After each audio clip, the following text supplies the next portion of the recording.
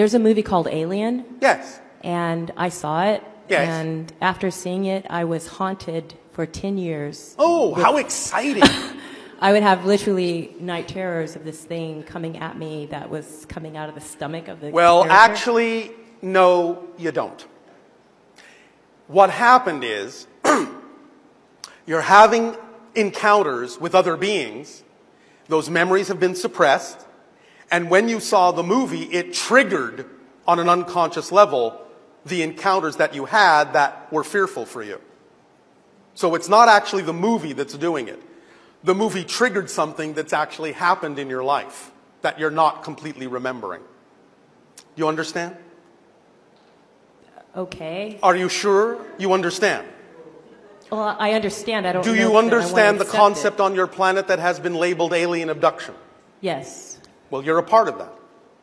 Was I abducted? Yes. Oh Many times. Oh and the idea, therefore, is that even though those memories of that abduction were suppressed, the movie triggered it to a degree that haunts you because it's telling you there's something else there. There's something you don't quite remember that's real. It's not the movie that's real, it's your experience that it's reminding you of. It doesn't mean that the experience was actually something to be afraid of.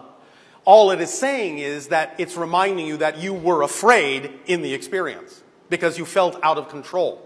And they were what you would consider to be alien beings. Yes? You follow me so far? Yeah. All right. It just causes more questions. Oh, Well, I understand, and I'm about to answer a couple of them. Okay. The beings that you typically call the grays that are involved with that particular encounter scenario are not actually aliens in the strictest sense of that term. As we have already mentioned, they are actually a mutated race of humans from a parallel Earth that destroyed their reality, lost the ability to reproduce, and knew that the only way to reconstruct their culture was to, in a sense, shift to a parallel reality that still contained humans with viable DNA, blend that genetic material with their own to create a hybrid race, one of which we are, which perpetuated their society. You, on a higher level, agreed to participate in that, even though your physical mind doesn't really remember. But on a spirit level, you agreed to participate in that, and one of the beings that you actually encountered in that particular experience was actually a parallel version of you in that society.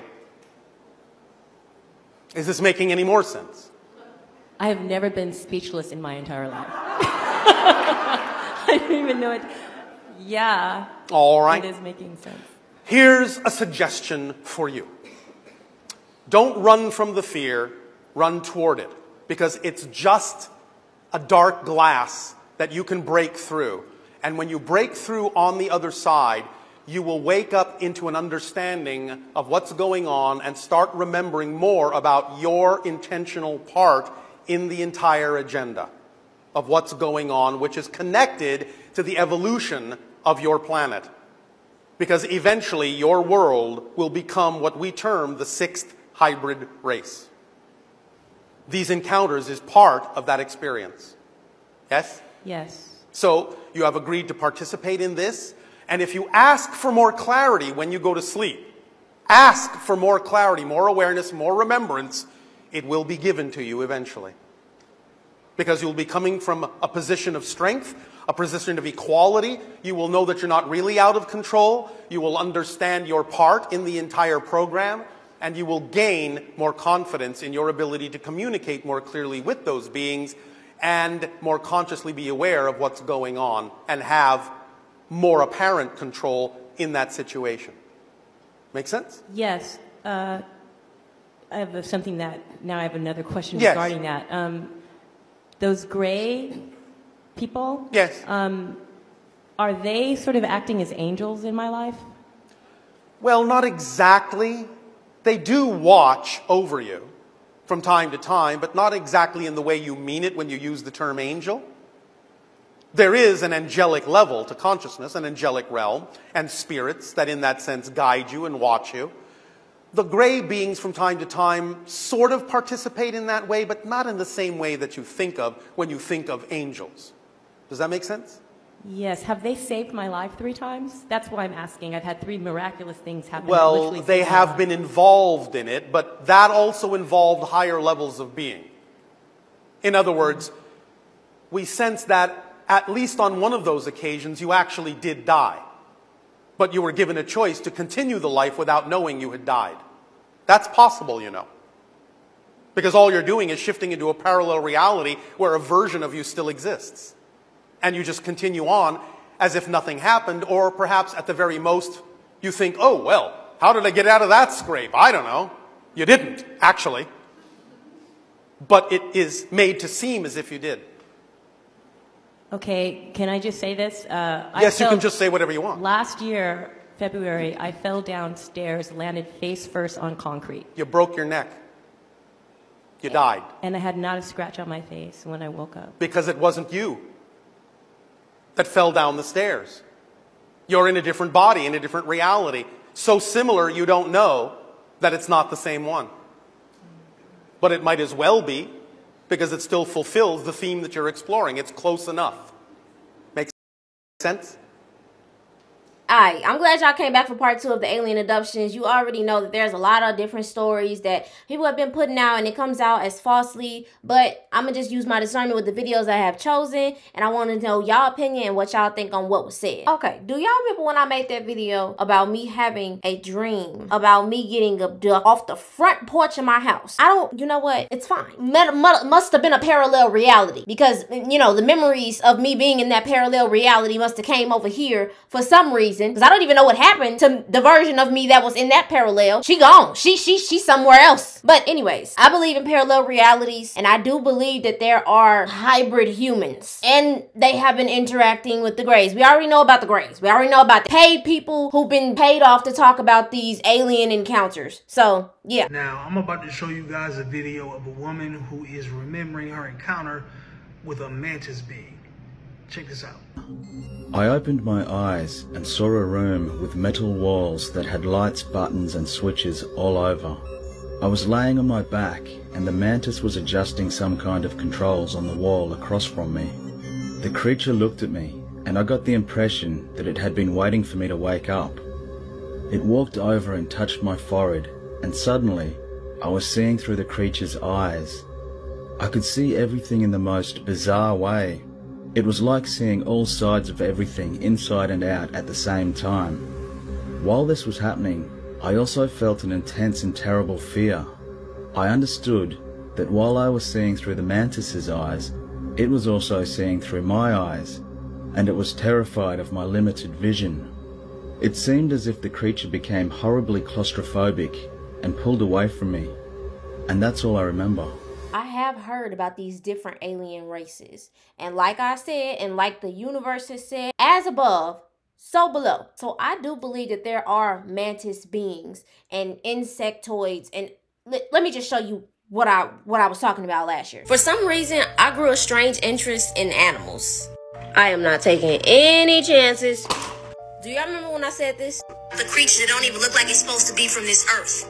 Or could it have just been a creature from space? Now you can say what you want, but I bet you we are not the only beings, only species, only creatures that are in this universe. So I did some digging on some of these animals, and they look like some of these gods or alien races. Let's just start with these lions. There is an alien race called the Lyrans who have incarnated here physically and spiritually to help us evolve our consciousness. You know that saying they drew it because they synced it? On the walls of Egypt.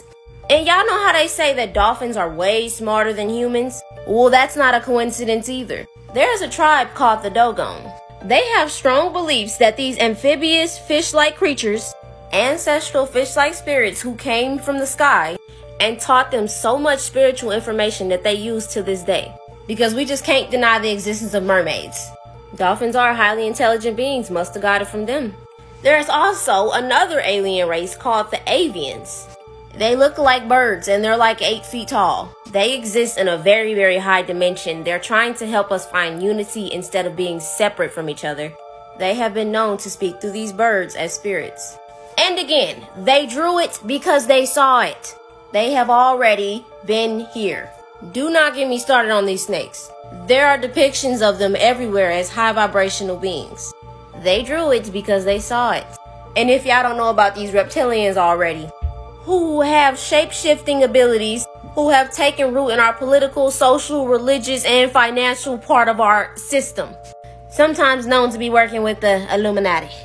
Oh, yeah, the elephants too, giving wisdom and knowledge. Some of these animals are not just animals and could be descendants of these alien races. We know that everything is all connected.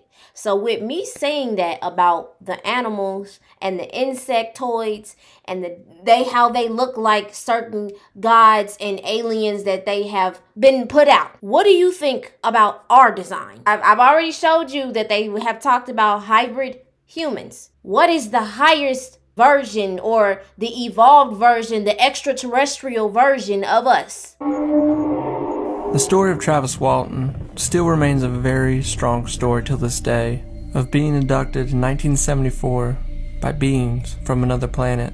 When Travis is taken up into the craft, he still to this day has very detailed imagery of what he saw and who he spoke to. He describes humanoid figures that look like humans but weren't human the story would gain so much attention, in 1993, a film would be made on the story. The film pushes the story a little more into a fictional realm, but there are some parts of it that Travis says were true to his side of the events. The interesting part with Travis's story is that in the past 40 years, it has not changed. It stayed the same. Travis has multiple witnesses that were with him the night he was abducted himself in Snowflake, Arizona in 1975. When you think about and actually look at these beings that have been trying to do experiments on, you know, humans, they look like they have descended. Like, you know, not to talk about how they look, you know, no offense, aliens out there. I'm not trying to talk about y'all, per, you know, preference and personal looks, but the way they look in this movie, which was based off of a true event from this man named Travis, they look like they have descended from human. He said they look humanoid, but they look like they descended, and they're trying to do experiments to try to ascend through us, through the ones who are actually here. What happened in the TV show The 100? Stay with me. In this TV show, right, the world had been ended by an AI robot who wanted to save the planet. Humanity was basically, you know, killing the planet, right? So during this time, the rich people knew that this was about to happen due to the upgrade of technology and the stuff that was going on in politics. So they had created a bunker called Mount Weather. And these rich people survived in this bunker for about 300, 400 years. On the outside, when the world was being destroyed, they went underground, they descended. And some people also went to space in a spaceship. There were also some people who survived the bombings and the world ending, and their blood, their DNA had upgraded, same as the people who went to space Their bodies were more powerful and stronger biologically. Now, the rich people who decided to stay, they did not upgrade at all. Their blood was still weak. Their bodies were still weak and it couldn't survive the outside of Earth. So they all they could do was stay inside of that chamber as the Earth started to upgrade itself. Now, the people who went to space and the people who survived Earth, you know, made the sacrifices to ascend, they actually started to be experimented on by the people who descended and went underground and they started to capture them and take their blood and use them. They basically didn't go through the ascension process and wanted to feed off of the people who did in order to, for them to keep thriving and surviving. Now, doesn't that sound like the beings who have made contracts with ET races that have decided to use us, experiment on us? If these are highly advanced beings and they have highly advanced technology, what do they need to experiment on us for? They they've ascended, right? They are in the the highest form of they can travel the space and they can do all these amazing things. They are experimenting on us because of the power that we have in our bodies. It makes you realize the power that we have down here, that we have down here. And just like the people who were in the cage in the episodes of this TV show, they didn't realize the power that they had because then they couldn't even go outside. The ones that they encaged, they were more powerful than them. They could survive. Just a little penny for your thought about the human race that, you know, seems to be unintelligent and not that spiritual, not that technological, not that smart. It's a reason why they are experimenting on us. We're powerful. But let's get back into the rest of the clips that I have that I want to show y'all in my TikTok likes. I want to play this. I know that it's an AI video, but just listen to it. Bob Lazar emerged in the late 1980s claiming to have worked at a secret site near Area 51 where UFOs were stored and studied. He said the UFOs were powered by an unknown element he called Element 115, which allows warping of space-time. This element has since been synthesized but doesn't exhibit such exotic properties. Among documents Lazar saw was one titled EBE, which he assumed stood for Extraterrestrial Biological Entity. It contained biological information on alien life forms, the document apparently described how these beings helped proto-humans evolve, with sections titled Genetics and Mutations and Emperor Religion. Lazar claims the document heavily implied that modern religions are based partially on humans' ancient interaction with aliens who shaped our development. However, there is no independent verification of Lazar's claims. His credibility has been debated due to contradictions in his statements over time. If such documents did exist, their corroboration of religious accounts could dramatically reshape human origins narratives. But without more evidence, Lazar's specific assertions linking aliens to religion remain highly controversial and unproven. So, do you remember when I talked about that story with that girl who saw the gray alien go through the wall? That's basically an example of warping of space time. We actually were able to do that physically, and we have the ability to do that. It's just, you know, about the lock codes in our DNA and stuff. We are a very, very powerful race down here. So, that's why it's so important for them to keep us at certain mental states so we can't evolve, ascend. We start with Travis Walton himself, here in our Washington studio. Thousands of Americans claim they've had a terrifying UFO experience. Many such stories fall apart under scientific scrutiny. But this one impresses a lot of people.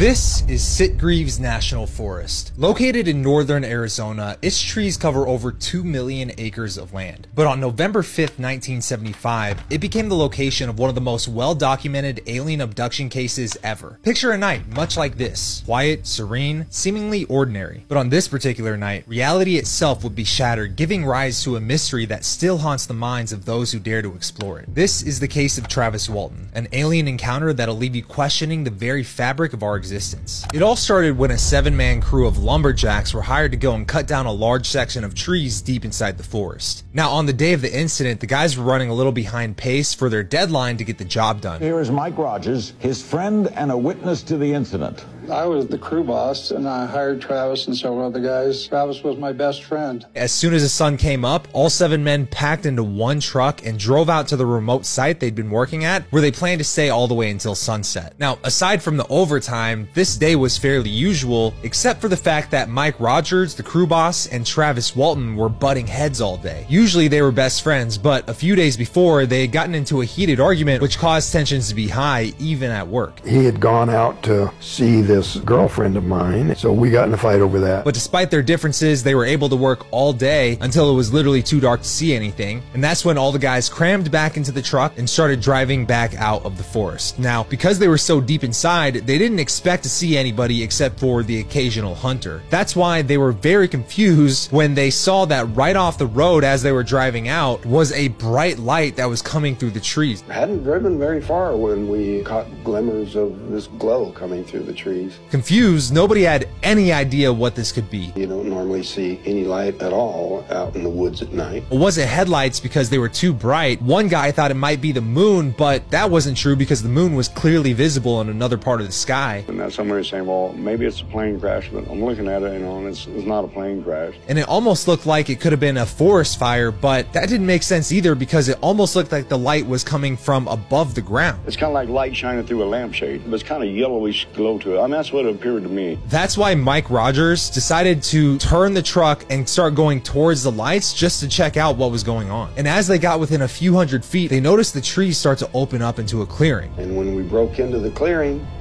there it was. In the middle of the clearing was a very bright saucer shaped object that was glowing, not making any noise, and hovering just above the ground. It was so smooth, it was metallic, it was both giving off light and reflecting light at the same time. At this moment, nearly every guy froze, not knowing exactly how to process what they were looking at. Except for Travis, who without hesitation jumped out of the truck and started running towards this thing at a full sprint. Uh, you know, I just wanted to see it up close, not real close, I was actually assuming that it would take off. Now, maybe it was the emotional state he was in given their recent fight with his best friend, or maybe it was the raging hormones pulsing through his 22 year old body. But either way, Travis kind of had this reputation of being a little bit of a daredevil because literally the week before, the crew had seen a bear in the woods and Travis sprinted at the thing to scare it off. And now, Travis found himself running directly at this flying saucer, showing no fear. It was a rather impulsive thing to do, and I was regretting it almost as quickly as I did it. As you got closer to this thing, it wasn't moving, and he started to hear this high pitched humming noise that was coming from the craft, almost like an electrical buzz. It was just such an intense sound where the lows were something you really felt more than heard, and the highs were kind of like something that was like inside your head rather than coming through your ear. I mean, the guys in the truck were even feeling this vibration too. When my hands were on the steering wheel, I could feel it, and my elbow was on the window. I could feel it through that because it, it started getting more intense, louder, more volume. And this started to spook Travis, so that's why he jumped down into a crouching position, now almost directly under the craft, and that's when his fight or flight response kicked in. So he stood up to try to run away from this thing, but as soon as he stood up, a bright beam of light shot out of the craft and hit Travis. Bam! That's when it hit me. Turned my head the other way, and then the woods all lit up a bluish green. And when I looked back, he's a few feet off the ground and stretched out like this. All six men who were still in the truck watched in horror as they thought this thing had just killed their friend Travis. So without hesitation, Mike floored the gas pedal and peeled off in the other direction. And after they had gotten a few miles away, the guys were still freaking out until they saw that whatever this bright craft was, it zipped off into space at breakneck speed. So they started to gather their thoughts a little bit, and one of the guys was like, yo guys, we have to go back and get Travis. We can't just leave him there. Finally, I just said, I'm going back. You can stay here or, get in the truck. And I was surprised that they all got in the truck. Because if there was a small chance that Travis was still alive, he wouldn't survive the night. It simply got too cold at that time of the year in northern Arizona, meaning that if the craft didn't kill him, the hypothermia would have. So Mike turned the truck around and started driving back towards this clearing. And when they got there, they expected that they would find Travis's body laying somewhere on the ground. And much to their surprise, not only was the craft gone, but Travis Walton was too. They were obviously very upset about something. And I said, What do you mean they got Travis? According to their story, they turned around and went back. Travis was not there. Put yourself in Ellison's shoes for a second. You're working in a small town of Snowflake, Arizona that's so small, basically everybody knows everybody. And in the middle of the night, six young guys come up to you and tell you this crazy story about seeing a flying saucer in the woods and seeing it zap their best friend and then take him off into space. I mean, I'm a conspiracy theorist and even I would have a hard time believing that story. And I tried to get just as close to each one of them as I could to see if I could detect odors of marijuana or alcohol or anything like that. So rather than taking their story at face value, Ellison started to think that maybe these guys killed their friend and dumped his body in the woods somewhere. So he almost started to treat this like a murder investigation. If somebody is out here that's reportedly missing, I need to find that person. The first step, they need to go out to the clearing and investigate the scene and hopefully find Travis's body. That's when he called the Navajo County Sheriff, the dog handlers from the Arizona State Prison, and gathered as many people as he could to form a search party to go out there and look for Travis's body somewhere. And after searching all night and the entire next day, they found nothing. We never found a footprint or a sign anywhere of Travis Walton. Assuming there must have been foul play of some sort, Ellison started to tell the guys, listen, if you just tell us what happened and tell us where Travis is, we can end this whole thing right now. Because regardless of how adamant these guys were about their story and what happened with his craft, he simply couldn't bring himself to believe them. He says that he didn't believe us or disbelieve us. You know, he was being neutral. The police had to look at the much more obvious real world possibility that one way or another, Travis lost his life. The body was hidden. And he was determined to get his version of the truth out of these guys one way or another. Sir, I'm not here to determine if this is a hoax. I'm here to determine if the law has been broken. So he called a guy named Cy Gilson, who was the number one polygrapher in the state of Arizona, to come and put these guys under a lie detector test to figure out what might have actually happened to Travis. The entire test is established by research from uh, Dr. Raskin of the University of Utah, who done many, many years of research on its validity and its accuracy. The very next day, Gilson showed up to town and interrogated each one of the crew members one by one, starting with Steve Pierce, because at 17 years old, he was the youngest guy in the group, so they figured that because he was the youngest, he would be the easiest one to crack. Someone like that is more likely to admit that it's a sham, so he's the one I wanted to choose first because if it was a sham, it would save a lot of time and effort on my part and everybody else. I was scared to death. I figured I was going to flunk it because all week long I've been hearing, well, they're going to set it up to make you guys look guilty. Each polygraph session took about two hours where the guys were asked the same four questions over and over again. Did you murder Travis Walton? Was Travis harmed by some guy in the group? Did you see a flying saucer? Did this flying saucer hit Travis with a bright beam of light? And after questioning each one of the guys, much to his surprise, they all passed with flying colors. Frankly, when I finished with him, I was quite surprised myself because he was passing the exam. But despite this result, nobody was prepared for what happened. Travis Walton opened his eyes and found himself lying on his back in the middle of the road. The first thing he saw when he looked up were bright lights coming off the bottom of this flying saucer that was hovering 20 feet above him. Then suddenly, it shot off like a bullet into space. Night, and I could see a light on the bottom of a, of a flying saucer, and it just went straight up really fast without a sound. There wasn't a person in sight, but Travis looked around and he noticed that there were some phone booths right up the road. So he made his way over there and used the spare change that was still in his pocket to call his brother Duane.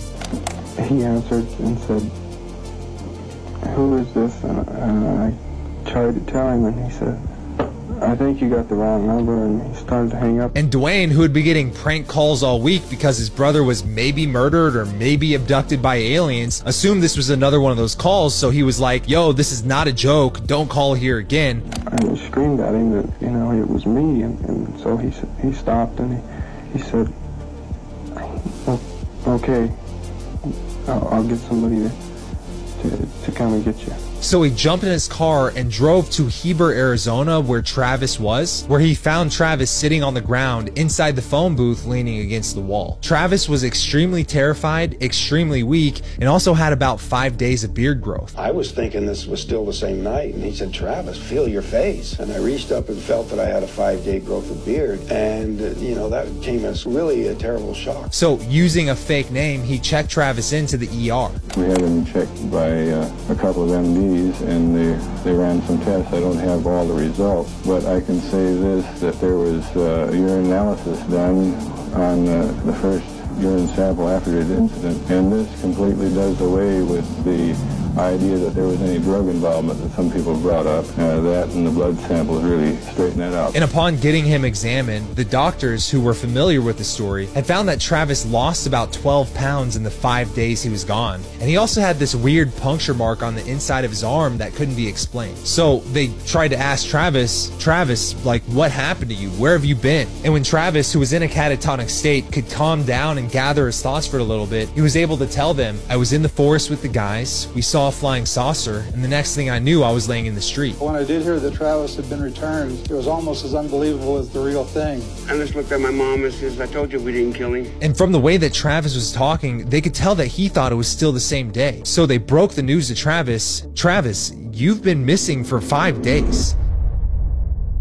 The next day, the story of Travis's return made international headlines. Because what started off as a murder investigation had now just become a hoax investigation, and by the next day, this tiny town of Snowflake, Arizona had become flooded with UFO enthusiasts and reporters from every news outlet. The first night, I lay down in bed and the phone rang. It did not stop until daylight forever. I was called by Canada. I was called by England. I was called by Japan. I was called by Russia. I was called by several Asian countries. I was called call, call, call, call, call all night long. But the truth is, Travis was in no shape to be doing any interviews because he was still trying to process the probably very traumatic experience he just went through. It was just too traumatic. They didn't even have term post-traumatic stress disorder in those days, you know. And any time that people would try to ask him, hey, what happened while you were gone? What happened while you were were on this alien ship, as soon as he would start trying to recall the memories, he would start stressing out and have a panic attack. The media scrutiny was so intense. Once it was even suspected that when my brother was involved, the reporters were knocking on the door there constantly. When we went to leave the hospital, somebody yelled out, There he is, and they chased us into traffic. Either way, to come to the bottom of what may have actually happened, if there was any foul play, if this was a hoax, the sheriff still needed to get Travis's statement of what happened. So he decided to once again take matters into his own hands by ordering Travis to undergo a lie detector test of his own. But at the time this test was scheduled, Travis never showed up.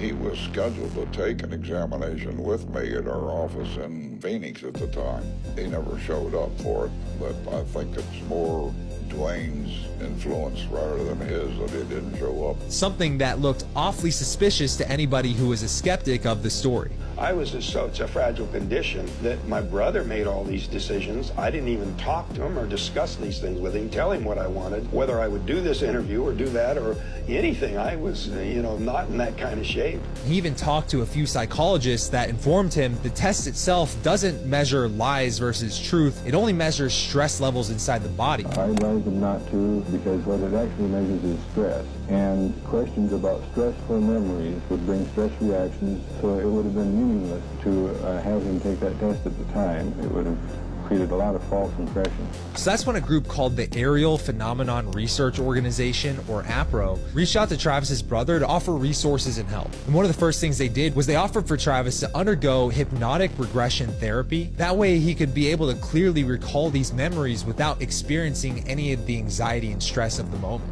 The whole process of hypnosis is a sort of a deep relaxation at the same time you're confronting this, these memories. Now, obviously, there's always going to be some debate on exactly how accurate hypnotic regressions are, with skeptics always claiming that false memories could be implanted. But you've got to remember, Travis already had a lot of these memories, and all the hypnosis would do would put him into a deep state of relaxation. That way, he could actually verbalize these memories without having a panic attack. I recount the memories for the first time in their entirety without so much of the fear that was just keeping me from even speaking without breaking down. Looking up at a light shining down on me from the ceiling, I could tell I was leaning up on a, on a bed or a table or something because the ceiling was close. He then looked around and noticed that three humanoid looking beings were standing directly over him. And I saw two men le- leaning over me. They were, they were, they weren't really men. They were a lot like, uh, uh, they were a lot like men, but they weren't quite human. And they were dressed in kind of a brownish orange. They had large, black, almond shaped eyes, their skin was gray, and their faces were devoid of any emotion. That's when one of them noticed that Travis had woken up and he started to alert the other two beings. Freaked out, Travis jumped off the table and grabbed the first object he could get his hands on. And I grabbed a, uh, a, a tube, a clear piece of glass or something, and I, I tried to break off the end to get something sharp to, to defend myself with. But What scared Travis the most is that despite how confrontational he'd become, these beings were completely non reactive to him. They just looked at him and then they started walking towards the edge of the room where the wall opened up to a door, slid open, they walked out, and then it slid shut behind them. they didn't try to approach or, or anything. They just left. They just ran out real fast. And uh, I was alone there for several minutes, and I, I couldn't catch my breath. It, was very hot. Now that he was alone, he was able to catch his breath for a second and start assessing the scene. He started looking around, but nothing seemed even remotely familiar to him. Everything was so foreign, so alien. And aside from the table and the door, he couldn't make sense of any of it. Um,